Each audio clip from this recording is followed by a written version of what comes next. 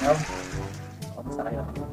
Sensya na ngayon lang tayo ulit nakapag-upload dito kasi yun ang naman yung ating order ay Lazada. Uh, ah, bago yan, syempre kung bago sa ating channel, nakiklik naman ang ating subscribe button. Syempre palike na rin at huwag kalimutan ang notification bell para lagi kong updated kung may bago tayong tips and tutorials nito guys. So ito yung order natin kay Lazada guys. Uh, ah, commonly named siya na running lights kasi tumatakbo yung ilaw niya. So dual lights to siya.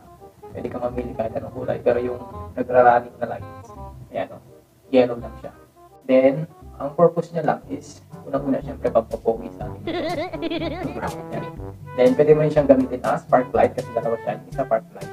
Isa, pwede mo siyang gamitin sa signal light kasi tumatakbo. Ang sukat nito ay 30 cm. Kasi ito lang yung haba na kaya kakailanganin ko doon sa akin. Pero hindi naman siya makakapili kayo ng 60 kung mahaba kailangan. Pero ito yung kailangan ko sa motor ko kaya tingin ko. Then, pwede nyo siyang install kahit wala kayong switch. Kasi ano, ah pwede nyo siyang i-directa dun sa ignition wire nyo. Then, yung isa, syempre, kung gusto mo ikabit dun sa signal light mo, pwede din siya. So, meron akong hinanda sa inyo guys, na mga diagram. Kung halimbawa wala kayong switch, pwede naman. At kung meron kayong hazard, kasi ang pinaka-the best nito ay merong hazard. Pag may hazard kayo, astig guys, sumasabay siya sa ito yung running light na sumasabay sa other. No? So guys, ito yung ating diagram. Pakita ko sa inyo. Okay. So ito yun guys. So sa running light mo, kunwari, nasa kaliwa ka. Ito yung gagamitin mo pang kaliwa. So, i-connect mo lang siya dun sa kaliwang signal light. Ah, kung gusto mo siyang isabay. Yan. So yung yung running light na, yung blinking light, yung yellow, tatap mo siya dun sa positive ng signal light. Hindi. So, ibig sabihin, magkakaroon siya ng connection. So, pag umilaw yung signal light mo, ilaw din yung sa mong running light. So, ganun din sa kabila, tatapo lang din yung positive nung signal light mo, dun sa positive, dun sa yellow nung, ano, nung running light. Ayan. So, yung black dyan, negative sa ground natin. Then, yung red, ito, yun, ito yung steady light. Yung red wire natin, yung steady light, kung wala kayong switch, nakadirect siya sa ating ignition key, ignition wire. So, dalawa lang man. Yung isa. Yung isa, doon nyo siya itatap. So, pagbuhay nyo ng susi nyo, bububuhay din yung steady light nyo. Kung ano kulay yung pang red, yellow, green, gano'n. So, pagbuhay ng ignition key, bubuhay din yung steady light nyo. So, ganun siya nag-work. Then, pag nag-signal light ka, yung sasabay yun kung kanan or kaliwa. Ngayon, kung gusto nyo nang lagyan ng switch para para pwede nyo siyang patayin, yung steady light. So, ganito lang yung gagawin guys. Yung red lang yung itatap nyo. So, yung red wire, o yung steady light wire mo siya. Gumawa kayo ng switch. So, yun. Yung isang wire, doon sa switch ng ano, isa, isang wire ng switch. Then, yung ignition wire naman, tatap nyo siya dun sa kabilang wire ng switch.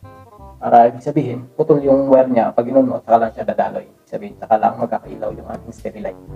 So, ganun lang guys. So, ito yung diagram niya yung sa may switch at saka sa walang switch. Ngayon kung may hazards ka, kung may hazard ka, may hazard light ka, mas the best siya. Kasi pag nag-hazard ka, sasabay yan guys. Ang ganda tingnan. Sasabay. So kung gusto niyo ng diagram ng ating hazard, so madali naman siya guys eh. Pero hindi ko na siya may i-actual sa inyo kasi na matagal lang naka-install yung hazard sa akin. So bibigyan ko na lang kayo ng diagram. So ganito lang naman siya kasimple guys. Yan, ganyan lang kasimple yung hazard natin. So, bibili ka lang ng flasher relay at hazard switch. So, ito yung tatlong, ano, tatlong wire tapos pinipindot na ano, switch. So, pinaka tatandaan nyo lang guys, dun sa hazard switch, yung gitna. Basta yung gitna lang. Yung gitna, itatap nyo siya dun sa flasher relay, dun sa L. So, yun lang yun. So, ganun lang siya kabilis. Ganun lang siya kabilis install. Yung gitna dun sa flasher relay ng L. Tapos yung dalawang wire doon, uh, positive ng ating signal light. So yun, ganoon lang siya kabilis guys. Subukan nyo. Ganda siya. So ngayon, balik tayo sa ating topic. So yun yung diagram natin guys. So pag may tanong kayo or may hindi kayo naiintindihan, pwede kayo mag-iwan ng comments sa ating comments. Sagutin natin. Para maliwanagan kayo. So ngayon, kapag hintay natin, kapag na, ah, samahan niyo ko.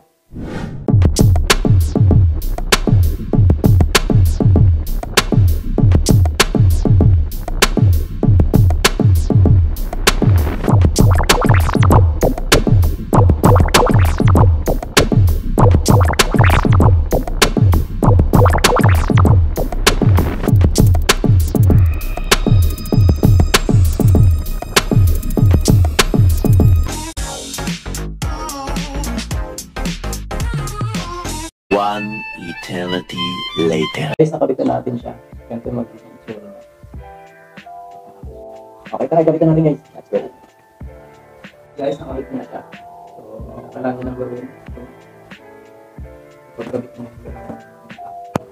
Dalawang red. Ito yung, ano, ito yung steady. Tapos, itong yellow, ito yung. Okay, kakabit natin sa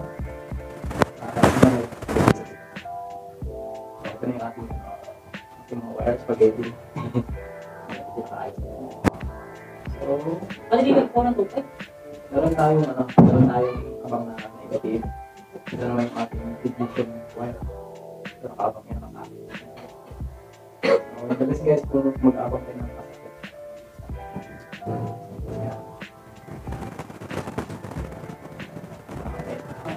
Tapos ito yung ating wire na switch. So, tuturo natin mamaya kung paano gamitin ang switch. Then ito yung kanina, kung natatandaan niyo sa ating hazard, sa mga gusto magalit ng hazard, so ito yung paggamit natin. So ito yung ating wire mula dun sa hazard, hazard switch, tatlo yun, di ba? So yung gitna, nakabili na siya sa inyong relay, flashing relay. So kailangan nyo magpalit guys ha, hindi pwede i-stop, kailangan nyo magpalit ng flashing relay. So pag bumili kayo, sasabihin nyo, flashing relay. LED flashing relay. Yan. So yung isang, yung gitna, balikan natin. Yung gitna, kakabit nyo lang sa flashing relay nyo dun. Tapos yung dalawa, dalawang gilid, tatag isa dun sa ating uh, signal light. Isa dito sa kabila, isa dito sa kabila. So, ating buwan. So ngayon, ganito siya kung paano ikabit guys. So tuturo natin. Pag wala kang switch, so yung unang tutorial natin, pag wala kang switch, yung inyong, yung inyong steady light, direkta niyo siya dun sa inyong ignition wire. So, direkta niyo lang. Sabihin, pag nag-on kayo ng, ng susi, automatically mabubuhay yung inyong steady light. Kasi kung pag-isa nyo, yung isa doon sa positive ng, ng isang signal light, yung isa naman doon sa kabila. So kung nagka, ano lang yun, tingnan nyo na lang kung, kung kaliwa o kanan. Parang problema yung kung nagkabalik kayo nakabit kasi kaliwa kanan. okay, pag nagkanan kayo, tapos kumaliwa yung isa, hindi, ulitin nyo. Okay? So yun guys, kabitan natin. Kabit natin siya ngayon, at least na meron tayong hazard, meron tayong switch, Okay, kapit natin guys. So, nga pala, bago natin ikabit guys, kung sa mga naka-RS 150 na motor, meron akong tips na ituturo sa inyo.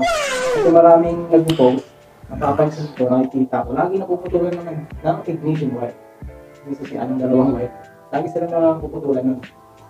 So, itong tips guys, simple tips lang. Tatlo na, focus na. Sa mga naka-RS 150, parang hindi kayo napuputulan ng ignition wire. Kasi secure nyo yung ano guys, yung rubber dito sa ignition wire. So yung dalawang ano yung dalawang wire na yun. So may goma dyan na ito. Secure mo siya.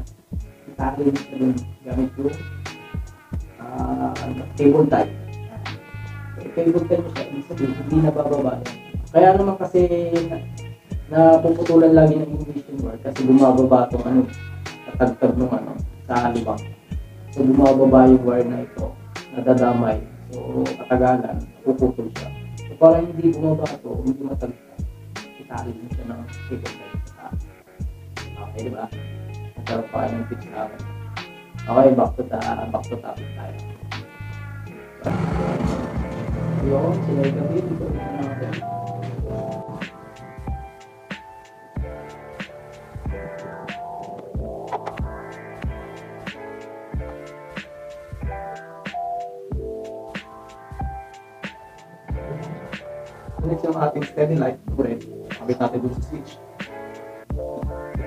Yung isa, ibuha tayo ng isang wire.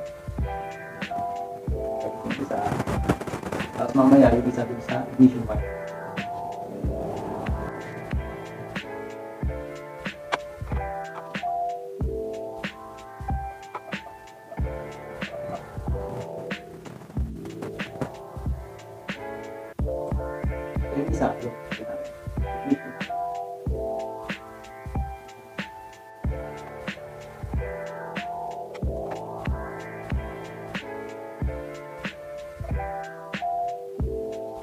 Tapos yung ating running lights, yellow, nakabit natin isa dun sa isang signal light, isa naman dito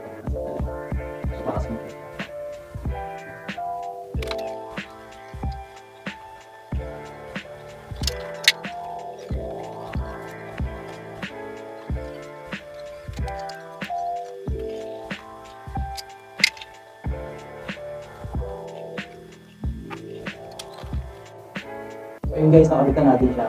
Tatry natin siya ngayon kung gumagana. So yun guys, testing natin. Switch.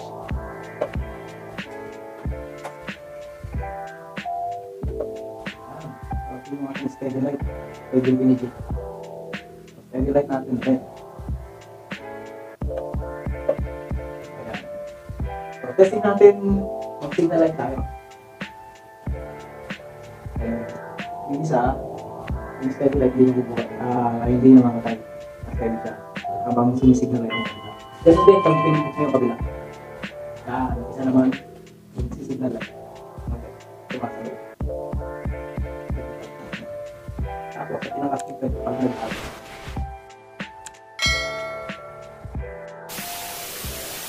So yun mga sir, napakita na natin ang final output ng ating ginawa. Ating RS-150. Nandito yung ating switch.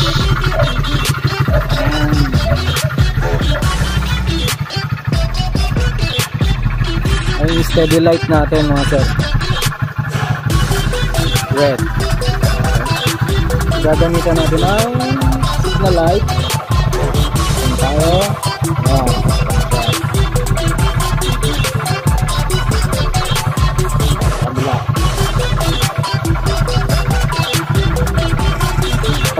Ang pinaka-highlight ng ating hazard.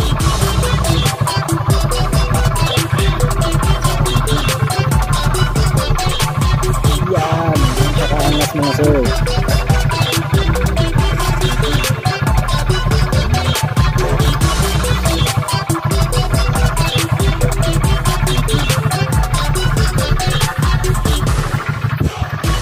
Ayun guys, nakikita nyo kung paano natin i-listen. So stay tuned sa ating channel para sa susunod na vlog. Peace out!